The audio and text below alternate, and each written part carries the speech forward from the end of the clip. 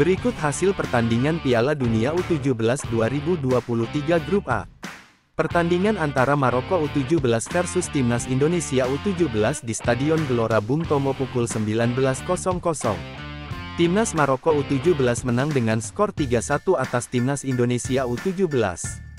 Berikut gol-gol yang tercipta pada pertandingan antara Maroko versus Indonesia.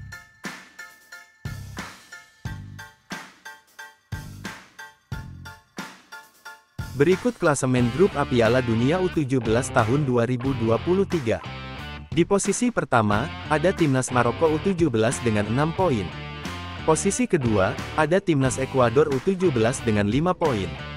Posisi ketiga, ada Timnas Indonesia U17 dengan 2 poin.